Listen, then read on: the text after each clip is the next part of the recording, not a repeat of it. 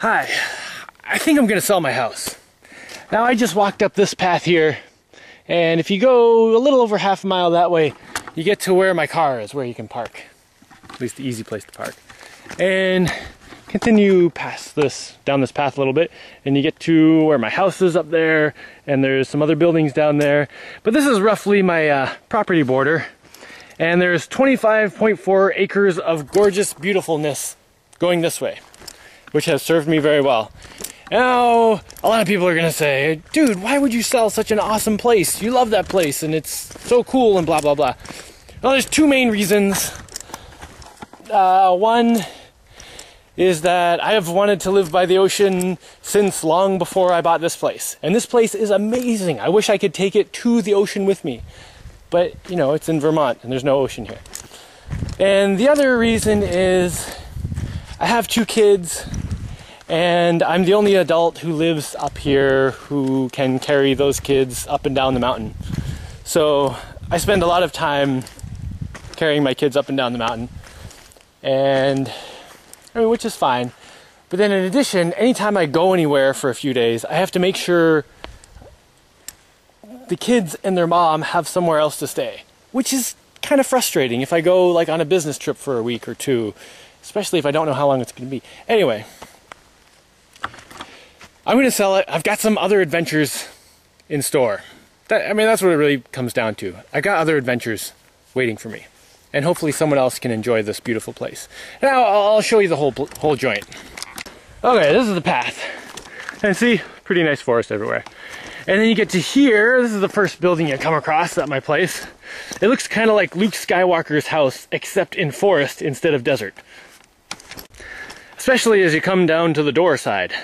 Now, this building has never been inspected, and I'm sure anyone with official papers and stuff would call it condemned, and it's a dangerous place. But anyway, inside this building, kind of hard to see, but behind this little uh, concrete dam is a spring, and that's where the water comes from that I drink. And comes out of this little squirter right here. And that's the tastiest water I've ever had. The thing I miss most when I'm not here is the tasty, delicious water. And then you can also, you know, keep yogurt and stuff in this water because it's freezing cold. And there's a drain to go out. And you know, there's some windows in here. But anyway, this thing is a concrete dome I made, I don't know, several years ago, four or five years ago. And a tree has fallen on it and it, it doesn't have a single crack. I mean like a big tree, like a two foot diameter tree huge thing, landed on it, scraped down the side, made a big scrape, not a crack. So, anyway, that building is really cool. I want to build another one of those sometime. Um, then we walk away from that a little bit, and we go over to here. This building does have some damage. This is my workshop. Oh, and I also have a, a lumber mill over there. I can't I can't say you should use it because it's kind of dangerous. Anyway, here's this thing I call the banana building. It's my workshop, and it has some damage. I mean, really, all my buildings here have never been um, inspected by anyone, which is the way I like it, because, you know, this is way out in the woods and no one comes up here, which is awesome. Um, but yeah, I'm sure if I'm selling it, the real estate people will say, you can't claim those buildings because they're condemned. So I'm just going to show you what's here. And you can, whatever, whatever. Anyway, so there's this huge airplane hangar here. And it's full of all kinds of tools and stuff.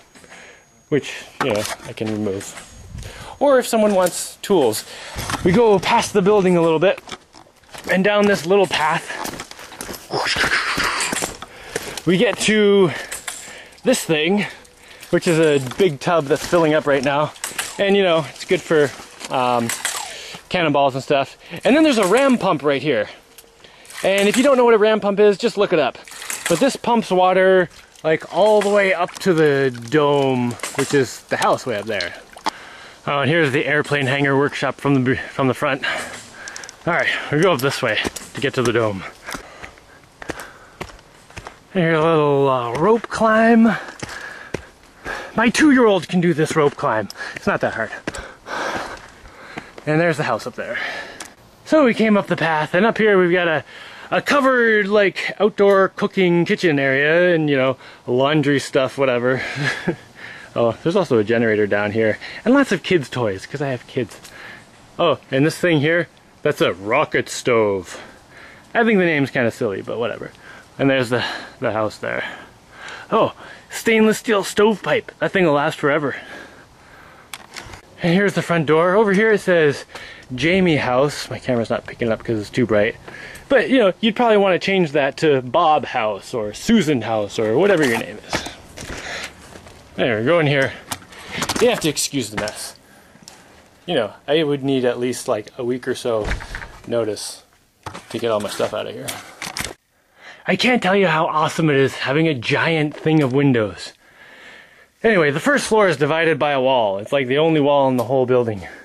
And in here is like kitchen stuff, and there's a wood stove to cook on, and to heat the house. It heats the house, no problem. And over here is the bathroom back there, and you know, there's a couch and hangout area, and like a giant mess that my kids made this morning, which is awesome.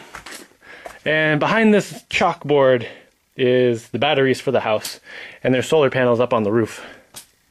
And you know, charge controllers and all that junk. And there's lots of shelving in this house. You'll notice that it's mostly covered by things at the moment, but it can easily be cleaned out. Okay, we take these stairs up to the second floor, or you can climb up the monkey bars, which is also fun. But anyway, up the stairs, and here's like the kids' disaster area, which is, you know, the playroom. And there's a slide that comes down from upstairs because I'm like a giant kid. And over here, this is my bedroom, and yeah, my little workshop area, my computer and stuff. But, you know, other people can do whatever they want with it. And up here also the walls are lined by shelves all over the place because there's this steel pipe uh, dome frame and then the outer wall is about a foot and a half past that. So that space between is all shelving for lots of stuff, you know, like laser cutters and laser printers, 3D printers and stuff. So that's the second floor down there, and you come up another flight of stairs. That's, you know, got safety fencing and netting all over the place. It's very safe up here because I have a two year old who runs around the house by herself. But anyway, the third floor is mostly trampoline. Which, you know, is pretty self explanatory. It's super fun, and that's what I wanted to do, and there you go. And here's the entrance to the slide to get down to the second floor if you don't want to take the stairs. And there's a big movie screen there. There's a projector that hangs out over here. Yeah, I could leave that with the house for sure.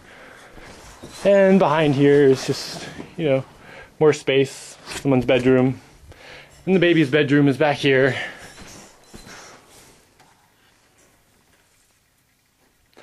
And if you, well, this ladder normally sits up against the wall, but if you bring it down, you can climb up to the fourth floor, which is just uh, one room. All right, let's go. This is the fourth floor room. It's got, you know, fancy paintings on the walls and there's lots of uh, shelving up here too. These are all styrofoam boxes that have been spray foamed in place. The whole dome is very well insulated. Um, it either has styrofoam boxes like these or just 4x8 sheets of foam, you know, all the way around it, except for the windows. And the windows are two ply with an extra layer of mylar on the inside. So really they're three ply, three ply windows. And from this room, you can go through this door here. You just take, well, take that off and, you know, turn these little latches and the door opens, and you can get out get out onto the roof. And if you walk around the roof, on the other side of this wall, there are solar panels, which you can see if you stick your head out the window. But um, I mean, there's no need to mess with the solar panels. They've been there for like four years, five years, working totally fine. So yeah, that, that's pretty much my joint. Oh, and in the summer, it's always important to leave this doorway open and the window, wait, where's the window? The window over there, open too. I mean, the screen's on. But leave the window open so the hot air blows up and through because there's lots of windows and it gets hot otherwise. Although the roof out here does have some overhang, so you don't get too much uh, sunlight in in the summertime. But in the winter, the sun is a lot lower, so it just blows right in all these huge windows here and heats the place up a lot. So it's really cool in the winter. Anytime the sun's out, the place gets as hot as you want. Oh, and here's my monkey bars from this level. Of course, you know, I've also got various t-shirts hanging on my, my child barrier, but you can just ignore those. so this building has never been, you know, safety inspected either or anything. I live in it and a tree fell on it and didn't make a, any damage at all. Well, it scraped the roof a little bit, but I mean, the thing is super strong. But, you know, I'm sure I have to say something like, it's a condemned building, I'm just selling empty land. Anyway, 25.4 acres, and it's gorgeous. It goes like that way for a while and that way for a while. Um, I can show you a map with all the the boundary points. But, it, I mean, it's lots of space. To be left alone as much as you want. Or, you know, it's a great place to hang out and have a party. Alright, I'm out of here. So yeah, does anyone want to buy this place? Awesome zombie retreat when, you know, when the zombies show up and stuff. Um, I've got other adventures to do that are calling to me. So I feel like I need to go do them. And it doesn't cost a lot. I mean, the land taxes on this place are really low, so I could just keep it. But I would feel like it's being kind of wasted just sitting here with no one using it. So I think it would be really cool if someone who really liked sustainability and living out in the woods and you know being zombie prepared. Uh, if someone like that wanted it, that would be really cool and could come and enjoy it as much as I have.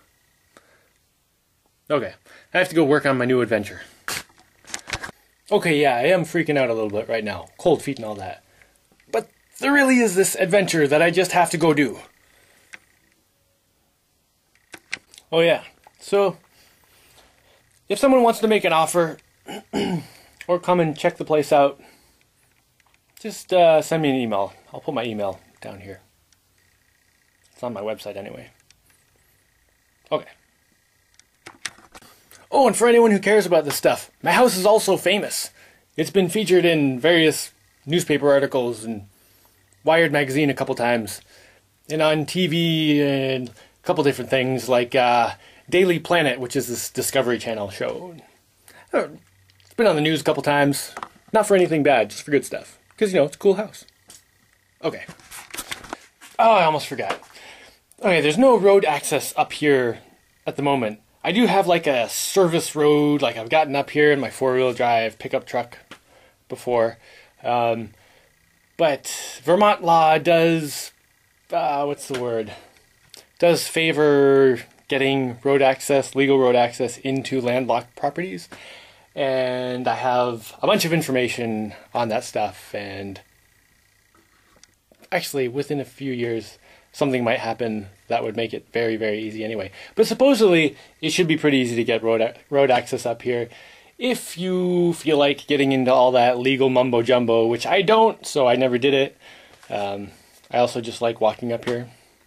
But, you know, I have a bunch of information on that too.